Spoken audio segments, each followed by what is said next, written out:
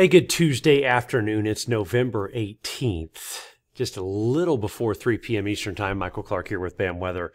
And we're going to talk about the um, idea or the potential for uh, winter to arrive, right? Right uh, around or after Thanksgiving and, and lasting really well into December.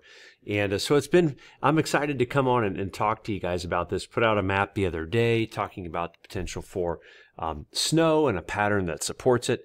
And it's certainly everything's there. The writing's on the wall. A lot of people are asking for a video to um, describe plainly what we're seeing. So that's my goal today. Share it with a friend. Subscribe to the YouTube channel, and uh, we'll get right into it. This is a map we put out for snowfall risks late November, heading into December. And we're already starting to see a lot of the model data kind of come around to the idea of a bigger snowstorm late in the month into the first couple of days of December whether it's going to be in you know Pittsburgh, Columbus, Indianapolis, or Chicago. You know, there's no way to know just yet, but we can look at pattern driver um, suggestions, techniques into the pattern, and it can tell us what to what we might anticipate. This is our storm track indicator for the upcoming pattern, and looking at cities that might be at play for accumulating snowfall risks at three inches or more.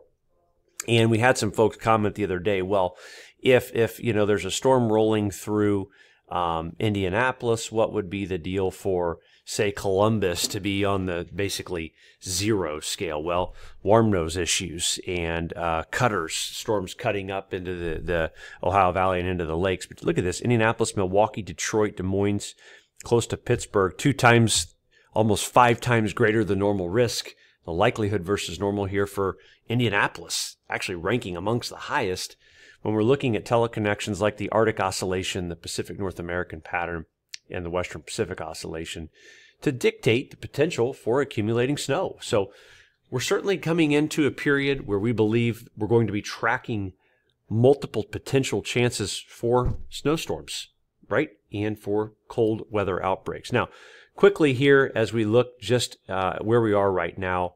Uh, it is again just uh, almost 3 p.m. Eastern time here on the 18th. And we have a big storm system moving through, putting in some showers and thunderstorms here across portions of the Ohio Valley into the mid Atlantic. You can see that here on Clarity. Some heavier rains even kind of coming through. Uh, and then what we're going to be looking for today is at least the potential for a few stronger storms, maybe even some tornadoes. Not out of the question here across southern Illinois, Indiana, western Kentucky, northwestern Tennessee.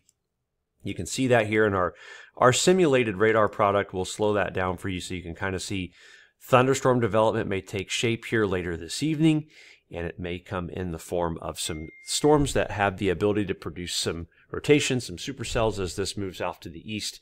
Um, you can see what it does. Again, some areas, some storms, maybe on the stronger side, maybe rotating here later today. The forecast for rainfall the next 24 hours, it's going to look like this. In fact, let me turn my legend on so you can see it. It'll look like this in terms of how much rain is anticipated over the next 24 hours, heaviest being across northern Kentucky, getting into portions of western Virginia. Not a ton in the way of snow. There could be a coating of snow up here across uh, upstate New York. Um, maybe as much as a half an inch in some spots. All right. So, what's going on in the pattern in general? Well, we'll look here to our friends at Tropical Tidbits. We'll look at the latest European uh, AI um, weather model. And the reason we'll use this model in particular is because it's colder, and we believe the pattern is more supportive. Uh, the, the writing is on the wall for there to be a colder risk, and the problem has been uh, we, we've we've the models have had a hard time seeing short-term colder uh, weather trends, short-term colder weather outlooks. They've just trended colder as we've gotten closer, and the AI data is, seems to be handling this a little bit better. And so we'll utilize that. You can see some mid-month uh, mild risks. We've talked about this for a long time. Brett's been talking about this for a while. Mild air working into Thanksgiving for most of the country. But a big storm system will start to get its act together closer to the 26th, 27th of November, start to spill in that Arctic air. In fact, Thursday for Thanksgiving, there's a potential that the Arctic air is already coming east. Wednesday could be met with a big storm system. Uh, the biggest, busiest travel day of the year could have a storm system with it. We'll, we'll talk about that here in just a moment. But the cold spills in. By Black Friday, it's spilt in at a great deal, reinforces itself here, getting into the start of December and looking out uh, into the first few days. And this has been consistent. There's been consecutive run now here runs now here with the AI data indicating this this cold dump incoming. The 6Z was even more intense and it was actually quite impressive. It arrived at the same time, brought a big storm with it right there. You see the warm air pumping up, cold wrapping on the backside, maxes out the departures from normal on the backside with a major Arctic blast and feels like temperatures below zero on the 3rd of December. Uh, but again, multiple runs have indicated this. We'll go over here to Synoptic Weather and we'll look at this. And uh, by the way, you all can access Synoptic for free right now. We're in the beta version of it. But I'll go over here and show you uh, kind of my thought process. I'm going to shrink this a little bit. Uh, so you can see what it is we're looking at in terms of this this the storm around that time. Okay, and again, here is wins. This is Monday, uh, the 24th. Okay, storm system rolls through. As we go through Wednesday, you can see the storm works off the coast on this particular run of the AI model. All right, cold air seeps in. You got these 540 thickness lines down to Oklahoma City to Memphis. Arguably, everybody's below freezing in the Midwest for Friday. As we continue to advance forward here, this is where the bigger storm and the reinforcing shot of cold air may start to take shape. Okay, this is the 29th of November. You can see a storm forming off the uh, in the panhandles of Texas and Oklahoma, off the the eastern side of the Rockies, and snow breaks out on this particular run. It's a big storm system that would sweep through the central U.S., bring thunderstorms to the deep south, and a big Arctic high to come in behind it. In fact, this particular run puts a big amount of snow down. Anybody can go and view these, by the way. These aren't, this isn't a mysterious map. This is the Euro AI data. Puts a big swath of snow through the central U.S. Regardless of where it goes, okay, I'll show you the GFS here this morning as well. It has a bigger storm here across Kentucky, Ohio, right? Uh, the European data will go out to the, the zero Z run. Um, it didn't have much of a bigger storm in that time frame, regardless of what models say in particular. The pattern supports uh, storms that have cold air and can produce snow. That's the general takeaway. What model has what and where right now? It's not. We're not in the range to discuss that. It doesn't matter. The signal's there. Is what I'm trying to get to y'all. Uh, the cold's coming, and there's the confidence is really increasing in that regard, uh, especially uh, when looking at the pattern drivers here for sure. Now, here's a look at the a couple of, of um, evidential pieces, if you will. What are we seeing to make us say this? Well, the Madden-Julian oscillation heading into phases six, seven, and eight. Indications even out by mid December, we are in phase eight of the MJO, uh, and, and no indication of really coming out of it quickly. Um, and a lot of uh, data is, is, is, indicative to this and, and, leaning on this idea.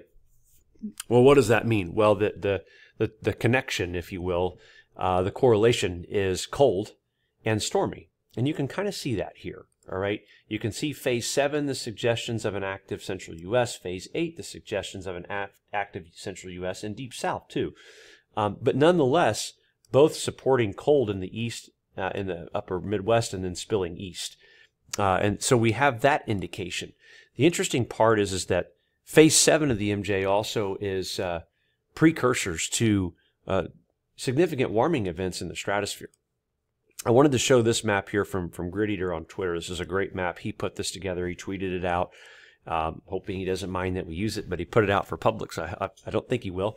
Uh, but it's a great illustration of the zonal winds at 10 millibars, indicating the weakening and displacement of the stratospheric polar vortex. And you can see as each run has come in, each new run has come in, look what we've done with the forecast here. Not only have we trended weaker with the vortex, but we've gone longer with a weaker vortex. And you can see it, just the obvious trend here, the writing on the wall, that the vortex would remain displaced and weaker all the way out through the new year. This is out through New Year's Eve. And this just indicating that um, we'll probably see a, a, a bothered, uh, elongated source of cold, source of winter longer, if you will. And you can kind of see this in the forecast suggestion from the European weeklies, because what it does is is the tropospheric vortex is, is displaced completely and mainly across North America and Canada. All right. And that's our vortex at around 500 millibars, which is what these maps are. But here's the big storm that ushers in the change week two. All right. Week three, we, we reinforce it. Okay. High latitude blocking starting to really establish itself. Week four, we see the trough primarily here, trough in the North Pacific, but high latitude blocking taking shape. And by week five, we have what we call this classic horseshoe style block, trough in the east. This pattern here by week five, mid December, is, is really loaded for cold and winter weather. Week six, we see the same thing, the horseshoe style block going on. We're maintaining that EPO, that WPO, that negative AO, that negative NAO, that classic winter look that can deliver cold. And it's, it's on the data. It's stretched out through the six week period with what we're seeing in the stratosphere and the vortex. And all things considered, there's really no reason to go against this. In fact, to add to the upper level pattern and the high latitude blocking that we're seeing in the modeling, we're also seeing a strong indication of an active pattern continuing. Uh, multiple indications of multiple strong low pressure centers in the northern Pacific that may continue to offer up the ability to uh, bring multiple storm systems in through almost every five to seven days through the month of December, through the central U.S., Great Lakes, and up into the north and east. So, nonetheless, the pattern uh, supports uh, a very active look. Our December forecast right now that has been out since the 11th of November indicating um, a very cold December for much of the country, much below normal temperatures. Um, and by all intents and purposes, we continue to, to keep that thought process with above normal precipitation for the month of December as well, uh, leading to what we believe to be an active, probably one of the, the first Decembers in many years that will feature almost coast to coast uh, winter like weather and the potential for a lot of snow uh, along with it. So, Make sure you subscribe to the channel. We'll keep you posted. Thanks for watching. We'll talk to you soon.